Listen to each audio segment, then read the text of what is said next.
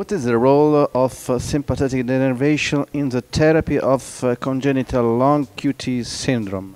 Well, we did the first left sympathectomy for these patients exactly 44 years ago. It has become very clear over the last uh, several decades that this intervention, which is made under total anesthesia in 30, 40 minutes, disconnecting uh, the heart from the brain uh, by cutting the nerves going to the heart, is able to uh, protect from ventricular arrhythmias the vast majority of these patients and is able to improve the quality of life by reducing the number of defibrillator shocks. So we have uh, one modality of therapy for patients not protected by beta blockers that uh, improves uh, their quality of life and prevents recurrence of life-threatening arrhythmias.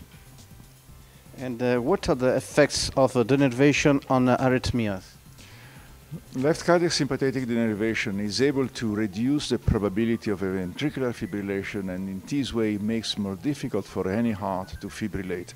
For this reason, it can be applicable to a large number of conditions in which a sudden death may occur. And it's important to keep in mind that also for patients who have already an ICD, an internal uh, cardioverter defibrillator, uh, it's important that left cardiac sympathetic denervation can reduce to a large extent uh, what we call electrical storms, when patients receive a large number of shocks which uh, may preserve their life uh, ruining their quality of life. So it's a very useful complement to the ICD to add this cardiac sympathectomy.